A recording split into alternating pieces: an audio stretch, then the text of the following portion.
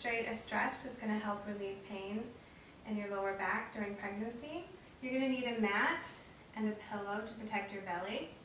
So you're going to start by getting on your hands and your knees. You're going to lean back onto your heels and then you're going to stretch forward with your hands until you feel a stretch in your back. You're going to hold that stretch for 20 to 30 seconds and you're going to do it twice.